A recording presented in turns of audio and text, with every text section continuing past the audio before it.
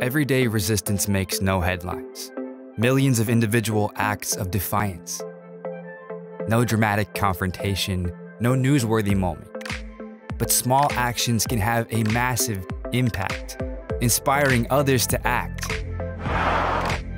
For as long as some people have oppressed others, the powerful have threatened our right to protest. Scared of the progress people power can bring. Because nonviolent movements change our world for the better. Resisting hopelessness and despair, spreading love and solidarity, bravely defending what we believe in. But change has become more challenging than ever. So, Let's stand together and protect our right to be heard. Join the movement. Be part of something bigger. Protect the protest.